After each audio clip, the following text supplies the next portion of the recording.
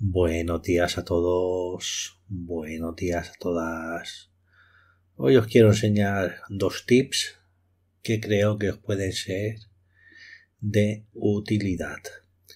El primero es eh, un ajuste que me he encontrado hace poco en, internet. No sé si es nuevo de, esta actualización de Photoshop o, o ya estaba. Yo lo he descubierto, como digo, hace, hace poco.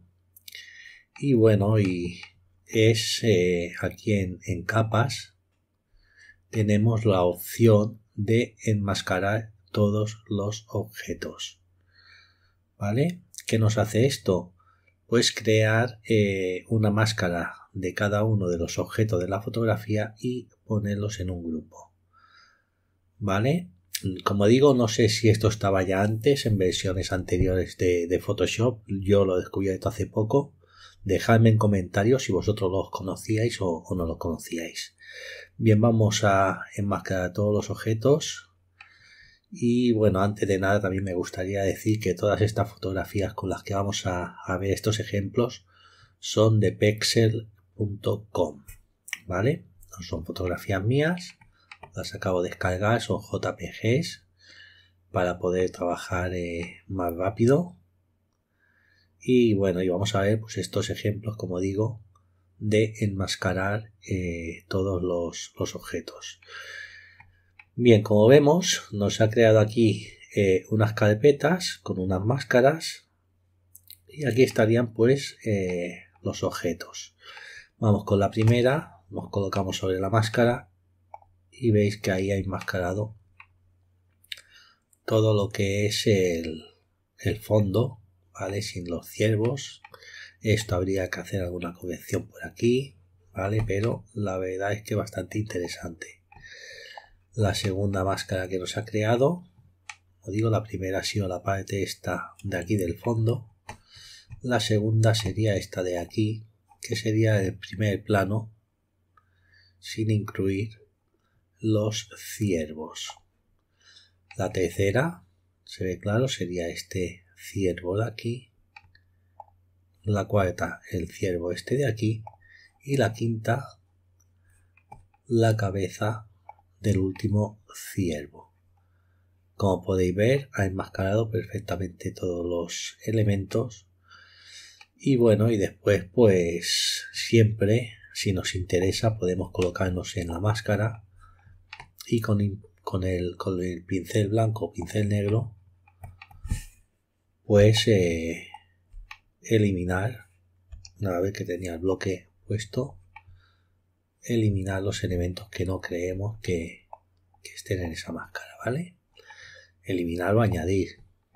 Con el blanco añadimos y con el pincel negro a ver que esto lo he cambiado de lado ahí está con el pincel blanco añadimos a la máscara y con el pincel negro eh, quitamos objetos de la máscara vale después una vez que tenemos esto pues sabéis que en el panel Tonic Hyper siempre podemos eh, guardar la, la máscara vale bien vamos con la siguiente fotografía de ejemplo y aquí igual venimos a capa enmascarar todos los objetos y empieza a, trabajar para generar esos grupos de cámaras enmascarados, ¿vale?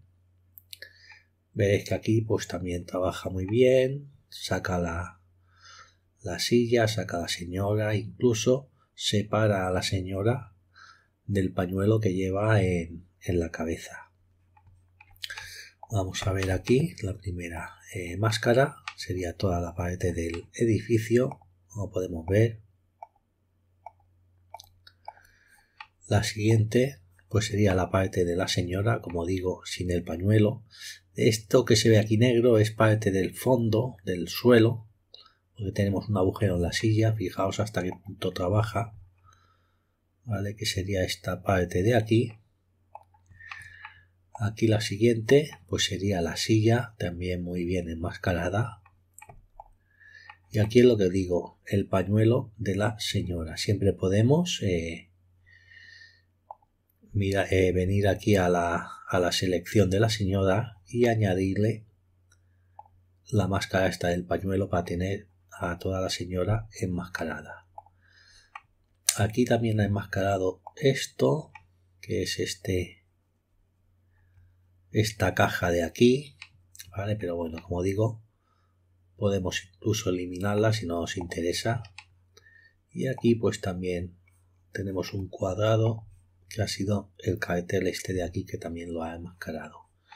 Como digo, una, una, una opción muy interesante a la hora de crear eh, nuestras máscaras, ¿vale? Vamos aquí a capa, máscara de todos los objetos en esta fotografía de paisaje y os he querido traer pues esas tres fotografías esta de paisaje la de la señora que sería como street photography y la de los ciervos para que veáis que funciona eh, muy bien con cualquier fotografía vamos a la primera aquí habría enmascarado toda la parte del lago, ¿veis? La segunda sería la parte del cielo. Ahí está. La tercera sería la parte de las... La montaña está aquí con el primer plano. ¿Veis? E incluso parte del fondo. Y esta última, pues sería las montañas esta de aquí del fondo sin este primer plano que tenemos a la derecha. ¿Veis? Como digo, es una manera de crear fácilmente nuestras eh, máscaras y que funcionan bastante bien. Vale, vamos a eliminar todo esto y vamos a ver el, segundo ajuste que os quiero enseñar que corresponde con el tema de las capas, ¿vale? Vamos a hacerlo con estas dos últimas fotografías para que no se alargue mucho el vídeo y eh, lo que os quiero enseñar es, no, tenemos una capa fondo y creamos una capa de curvas. Dentro de las capas de curvas tenemos estos cuentagotas. El primero corresponde con el, el punto negro, ¿vale? Que lo que tenemos que hacer es definirle un punto negro a la, a la fotografía, elegir un punto negro, elegir un punto gris y elegir eh, un punto blanco. ¿Cómo se puede utilizar aquí? Pues muy fácil, vamos a elegir un punto negro no tiene por qué ser algo negro, sino simplemente que sea algo oscuro. ¿Vale? Podemos cogerlo de aquí, pero vamos a cogerlo, por si acaso, mira, de aquí mismo. Que es un punto oscuro y fijaos lo que hace en la fotografía. Directamente le añade mucho más contraste con ese punto negro. Vamos a cambiarle el nombre, vamos a llamarle negro ¿vale? Y volvemos a la capa fondo desactivando el ojo de esa, ese ajuste de curvas. Vamos a crear otro nuevo ajuste de curvas y en este caso vamos a elegir el cuentagotas gris. ¿Vale? El cuentagotas gris no quiere decir que tengamos que coger un punto gris. Sería más bien un punto eh, de los medios tonos, ¿vale? Si venimos aquí, eso sería un punto gris que estaría en un 120R, 120G y 120B, más o menos, ¿eh? Puede variar, más que 120 sería 129. Ahí ese sería el punto eh, gris. ¿Vale? Podríamos eh, elegir con, como digo, con un cuentagotas y mirar a ver un punto que nos dé esos valores. Yo voy a elegir pues este de aquí. Podríamos buscarlo, como digo, con el, con el cuentagotas. Pero más o menos, pues eso, un, tono medio. ¿Vale? Vamos a ver lo que nos ha hecho este punto gris. veis aquí es mínimo así que vamos a elegir pues aquí un gris de estos medio oscuro ahí sí que ha hecho algo dependiendo de la zona gris que, elijamos pues nos hará una foto más cálida o más eh, fría ¿Vale? ahí veis como cogiendo ese punto eh, tenemos una foto más fría eso ya va al gusto. Vamos a llamarle aquí gris. ¿Vale? También había una opción que poniendo el puntero encima te decía el tono que teníamos, ¿vale? Y bueno, ya tenemos el gris, tenemos el negro, vamos a elegir el blanco, nos volvemos a la capa fondo y elegimos otro ajuste de curvas. En este caso elegimos el pincel blanco y no hace falta aquí tampoco coger un blanco. Podemos elegir algún punto que tenga bastante brillo. Vale, por ejemplo, pues yo que sé, este de aquí tiene un tono cálido y un poco de brillo. Vale, ahí estaría. Y ya tendríamos, vamos a llamarle aquí blanco. Y ya tendríamos nuestros tres ajustes. ¿vale? Podríamos eh, cambiar el orden, si queremos, pues poner blanco, eh, gris y negro, o negro, gris y blanco, y a partir de aquí los podríamos meter todos en un grupo y ver el antes y después, fijaos cómo cambiamos la fotografía, nada más que con este ajuste, e incluso podríamos ir jugando con cada uno de ellos. Este blanco, por ejemplo, si vemos que ilumina demasiado, pues podemos eliminar esta máscara. ¿Vale? Y dentro de la capa fondo, pues crear una máscara de luces 1, pero eliminando, por ejemplo, con la calculadora restando eh, las luces más más cálida, más, más fuerte, ¿vale? Luces 5, 6, le damos a igual y cargamos esa máscara, la llevamos aquí a blanco y veis como ya no es tan exagerado.